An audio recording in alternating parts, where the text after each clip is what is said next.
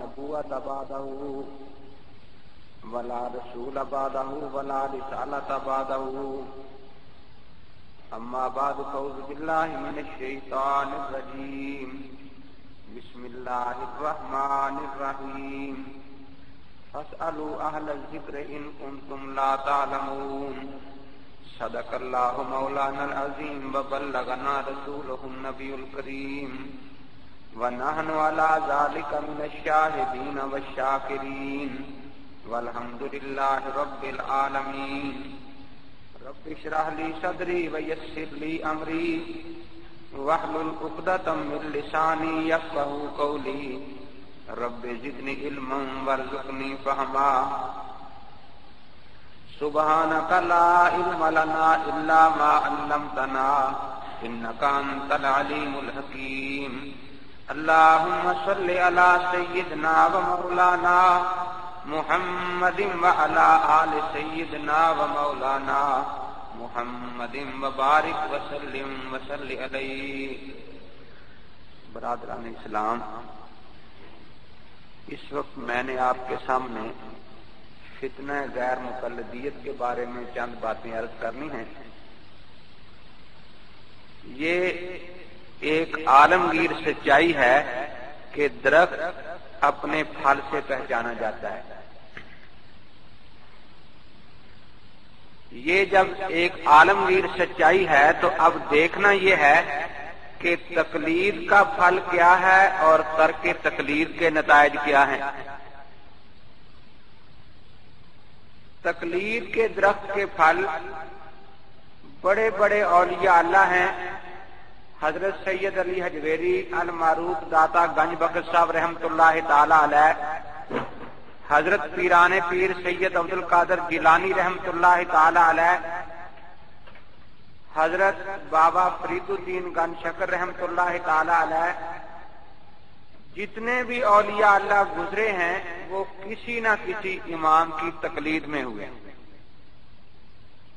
तकलीद के दरख्त के फलों में बड़े बड़े मुहदसिन हैं। हाफिज इबन हज़रत कलानी रहमतुल्लाह अलामा जैली रहमतुल्लाह अलामा ऐनी रहमतुल्लाह ताला तकलीद के दरख्त के फलों में बड़े बड़े मुफसरीन अकायद के उलमा बड़े बड़े कानूनदान और बड़े बड़े सलातीन इस्लाम हैं। इसके मुकाबले में तकलीफ़ का जब तरक करके तरक तकलीफ़ का फितना इस मुल्क में उठा तो उसके नतज क्या निकले? बजाय इसके कि मैं खुद कुछ बातें अर्ज़ करूँ, इस सिलसिला में मैं दो शहादतें खुद गैर मुकलदीन ओलामा की अर्ज़ कर देता हूँ, क्योंकि वो घर के भेदी हैं उन्हें पता है कि हमारे इस तर्ज अमल का नतीजा क्या हो रहा है। इस वक्त गैर मुकलदीन में जो मशहूर खानदान है, उनमें से एक गजनवी खानदान है, जिनमें मौलाना दाऊद गजनवी और इस किस्म के हजरात थे। ये हमारे मुल्क में गैर मुकलदीन हजरात का मशहूर खानदान है। ये खानदान पहले अफ़गानिस्तान में रहता था। वहाँ से अब्दुल्ला गजनवी इस तरफ़ आए और सबसे पहले वो गैर मुकलद बने। उनके बेटे काजी अब्दुल आहद खानपुरी की शहादत ये है, यानी अभी बाप को गैर मुकलद होने हुए कुछ अरसा गुजरा है। बेटे ने इतने अरसे में जो देखा वो ये क्या था? उनकी उर्दू की किताब है, उसका नाम है किताब तोहीद व सुन्ना, फ़ी रद्द अहल इलाहाद वल बिदा। उसके सफ़ा दो सौ बासठ पर काजी अब्दुल अहद साहब फरमाते हैं, बस इस जमाना के झूठे अहल हदीस, मुबतादीन, यानी ये बिदती हैं, मुखालिफीन सलफ सालहीन।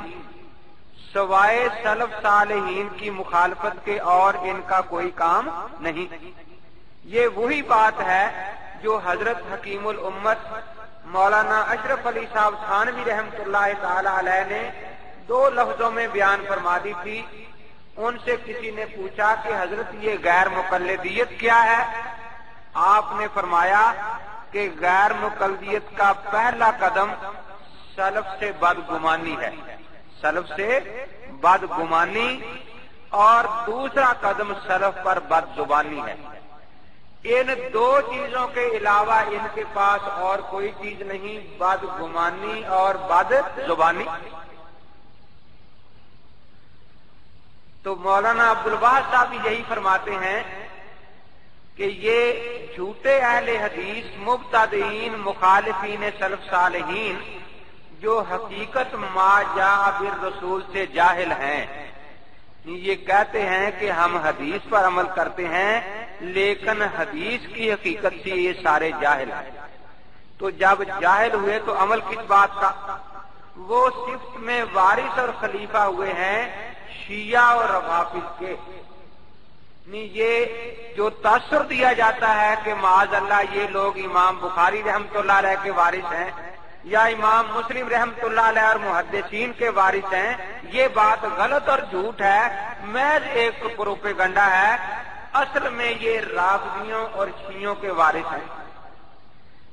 जिस तरह पहले जमानों में शिया बाब और दहलीज कुफर नफाक के थे और मदकल मलाहिदा और जनादता का थे इस्लाम की तरफ़ नहीं इस्लाम की पहली तारीख में ये बात बिल्कुल वादे है कि जब भी इस्लाम पर, इस्लामी अकायद पर एतराजात हुए तो तरीका ये था कि कोई यहूदी शिया बन गया और अपने आप को मुसलमान कहलाकर इस्लामी तालीमत पर एतराज़ करना शुरू कर दिया।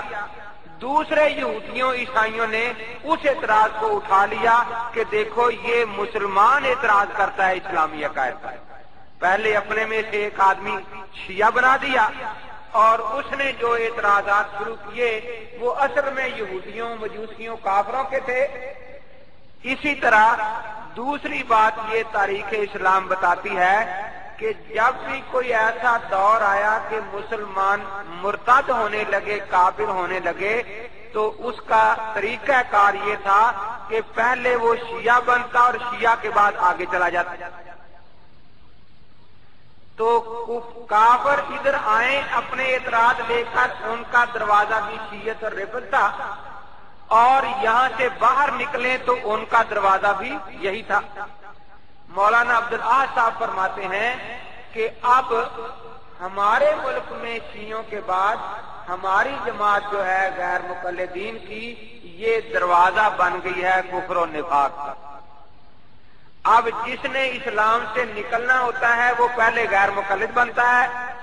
उसके बाद मुनकर हदीस बन गया। कादियानी, मिर्ज़ा कादियानी ने नबूत का दावा कर दिया। मदूदी बन गया, परवेजी बन गया, नेचरी बन गया चिकड़ालवी बन गया। तो पहले वो गैर मुकलित बनते हैं और उसके बाद आगे जिस तरह मुँह आते हैं, वो चलना शुरू कर देते हैं। तो गोया जितने भी बातल फिरके हैं, उनकी असल बुनियाद सर के तकलीद ही। है चुनाचे मौलाना फरमाते हैं, देखो, मलाहदा नेचरिया जो कुफार और मुनाफिकीन हैं, वो भी इन्हीं के बाप और तहलीज और मदखल से दाखिल हुए और इन्हीं को गुमराह करके उनसे अपना हिस्सा कामिल और वाफी मिसल शैतान के ले गया। नेचरी फितना जो हमारे मुल्क में खड़ा हुआ, जिसका बानी सर सैयद अहमद गैर मुकल था, उनका काम ये था कि दलाइल नबूत जो है मोजात इनका मज़ाक उड़ाया जाए।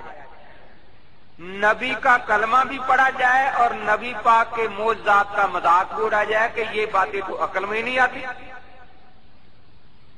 तो नबी का कलमा पढ़ने के बावजूद नबी पाक के दलाइल और मोजात का मज़ाक उड़ाना, इसके लिए आदमी मौलाना अब्दुल्ला साहब भी फरमा रहे हैं कि गैर मुकल दीन से